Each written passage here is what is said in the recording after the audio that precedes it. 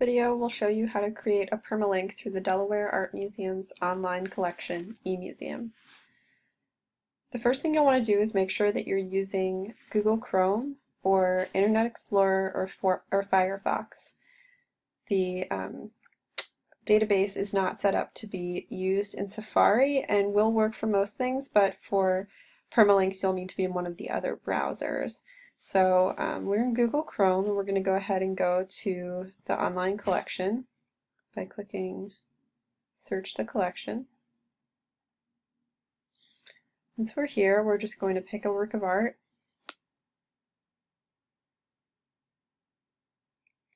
Okay, so once you're at the work of art that you would like to link, now a permalink could be used if you're going to embed a link, say in an email, if you need to um, direct somebody to the eMuseum page so that they see a specific image, or if you're on our site and are going to make, say, a hyperlink document for your classroom or something of that nature, and you want the link to the actual eMuseum page for that specific image.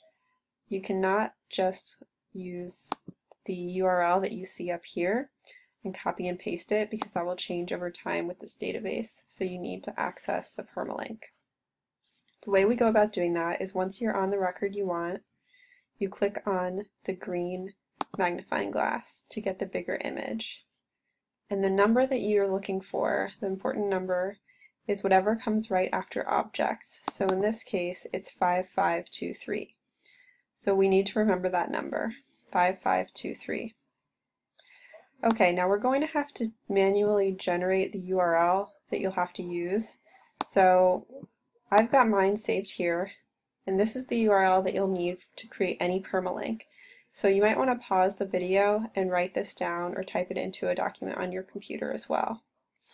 Now, remember that number that we got from the enlargement, 5523. We're going to take the base URL, which we know that this is what we'll use for all permalinks, and we just replace the last four digits with the object number. So ours is 5523. So when I take this entire URL and plug it into a new browser,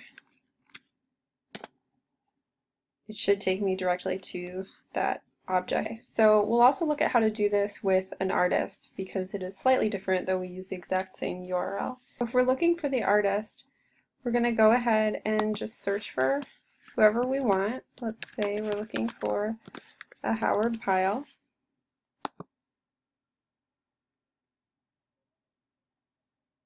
And we find his artist entry if we can.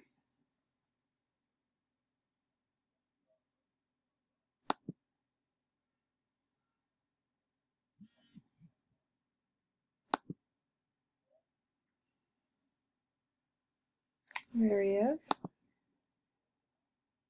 And if, again, if this is the entry that I want to send them to, it's the exact same idea as the object entry, but it's um, only one difference, which is when we click on the magnifying glass, instead of looking for the number directly after objects, we're looking for the number directly after people.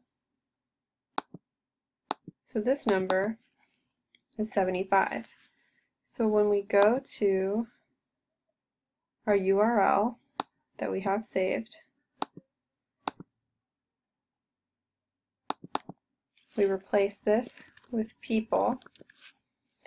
And we replace this with 75.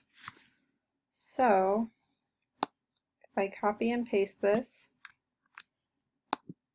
into a new tab,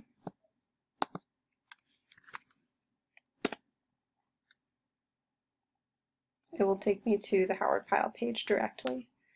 So that's the only difference is that if you're doing a person, you replace the word object with people, and the number is the one that comes directly after people instead of the word object. So those are the only two things you need to remember. Object and the number and people and the number.